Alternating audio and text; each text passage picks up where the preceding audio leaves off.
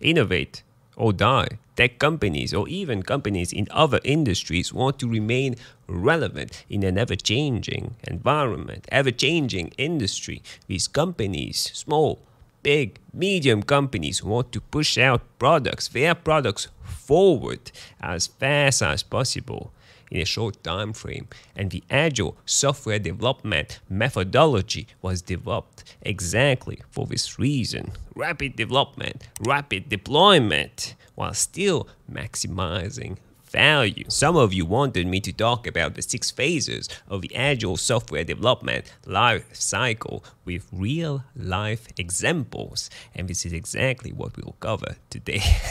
Let's get to the chase. Phase one, concept or objective. Here the product owner will define the scope of a project. Now, there's two types of scopes. There's the product scope and the project scope. It's really important to know the difference. Product scope is defined as the functions, features that characterize a product or service, whereas the project scope is the work that needs to be done in order to deliver that service according to the product scope the functions, the features. Here, the product owner and the client will talk about the key requirements that need to be included in the product or service. And these requirements, functions, features will be included in the documentation. Now, at this stage, if you are using the waterfall model, the old, the classic waterfall model, you would write an extensive documentation, really detailing all the features, all the functions.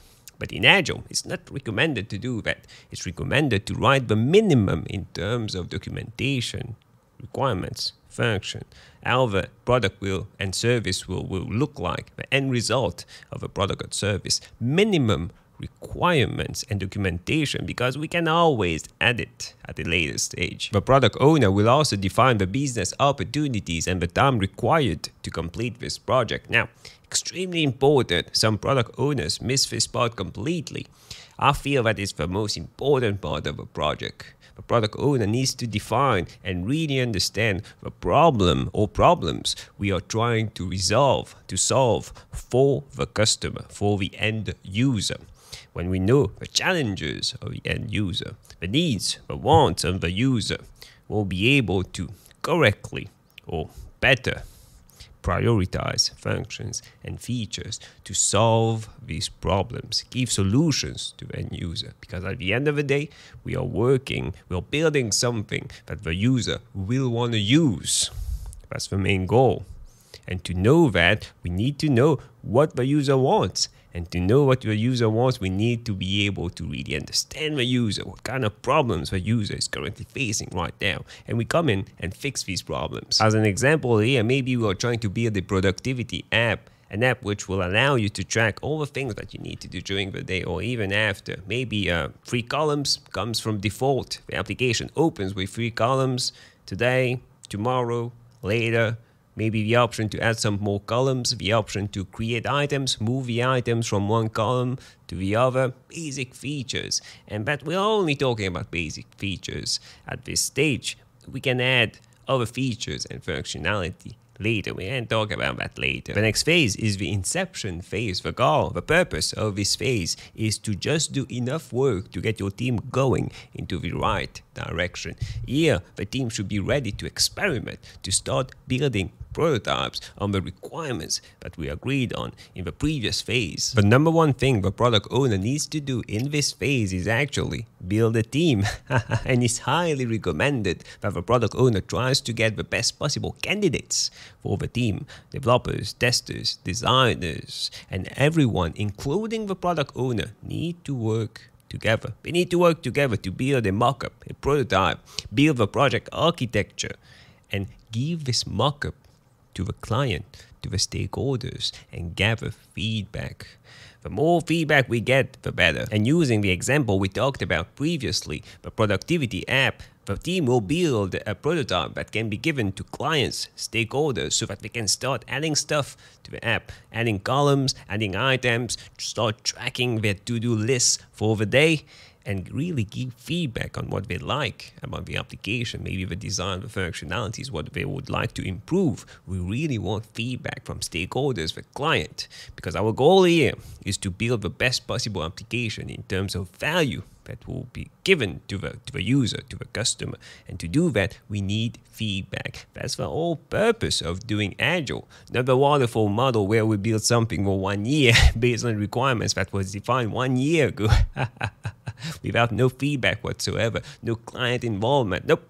In Agile, constant feedback incremental approach. We get feedback, we develop, we fix something, we improve something, we get feedback, we improve some other thing, and it goes on and on until the product is perfect. But it will never be perfect. The next phase is the iteration phase or the construction phase where we actually build the application which will be released to customers later on. Now, in this phase, the team, the whole team, including the product owner, will sit together to convert these requirements, the mockup that we did, the prototype that we did, into actual code, into a working application. And it shouldn't be a full-fledged application with all the features and functionalities. Nope. Minimum that we can put to the market that will satisfy the customer should be done. Our goal here is to release something as fast as possible while still maximizing value. Our goal is to constantly be releasing stuff, learning, gathering feedback, learning from this feedback, improving the item, the product, the application, and then releasing a new version.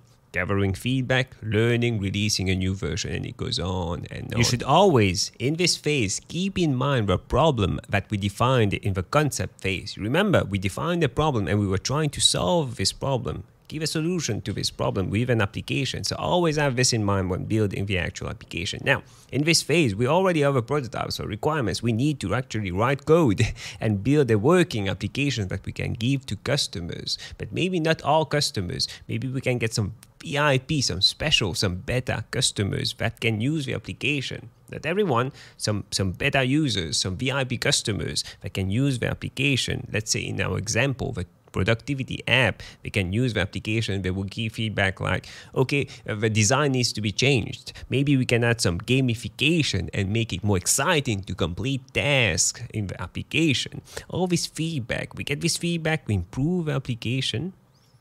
We have a problem and solution in mind that we defined previously, then we release it to the users and, and we gather feedback again and we improve it and it goes on and on. That's the whole iteration phase. The next phase is the release phase. We are now ready to release the application. Maybe the next iteration, iteration we talked about previously, will be the release iteration. The code has been done. It has been tested. We have ensured that the requirements, all the acceptance criteria defined previously are being met. We got the feedback from the beta users. We really like the feedback that we got. they really like the application and we are ready to release it to the actual customers. We ensure here that the environment, the production environment has been set up. It's stable. We have tested all the code. The functionalities are working. Everything is good and we are ready to release. So this step includes testing, debugging, which may result in having bugs, defects, which need to be fixed by the development team prior to the release. And once we've fixed all the bugs, or at least the critical ones, and we are ready to deploy it to production, we need prior to that, prior to starting it, the application for the customers, we need to ensure that the application has some sort of documentation. The customer needs to be able to navigate through a tutorial or something to know how to use the application. And once all these things are in check, Everything is done. We deploy it to production and congratulations, your application is now released. It's not the final version. Far from that. We released the most, the, the minimum in terms of application version that we could put to the market to satisfy the customer. Now it's time to get the feedback from the customer so that we can prepare the next version a software. And that's the next phase, the maintenance phase, where the team will provide ongoing support and maintenance to the application to ensure that the application is running smoothly. Here, we should be constantly gathering feedback, fixing bugs, adding features, adding functionalities, and it goes on and on for maybe years until one day we decide to retire the product. Which brings me to my next point. If you want more tips, insights on Agile, Scrum personal growth, click on the video that stands out the most on the screen right now and I'll see you in a few seconds.